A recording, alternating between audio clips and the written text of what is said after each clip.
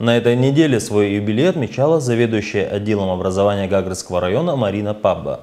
С этой датой в торжественной обстановке ее поздравил глава администрации Гагрского района Григорий Еник. Наши коллеги нашего друга Дмитрия, удачи и на работе, и в личной жизни.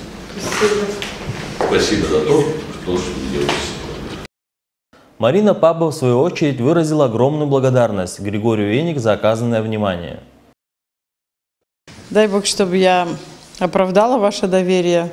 Я уже шесть лет здесь, шест, вот шестой год здесь работаю, приобрела очень много друзей, хороших друзей, на которых можно надеяться, которые всегда встанут рядом. Я действительно счастливый человек, не только потому, что у меня много хороших друзей, хорошая работа, потому что я очень люблю школу, образование.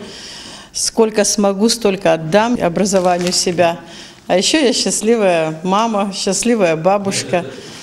Э, думаю, что это самое большое счастье. Спасибо вам большое. Я безумно благодарна всем вам.